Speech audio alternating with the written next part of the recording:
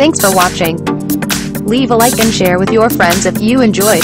And please, don't forget to subscribe.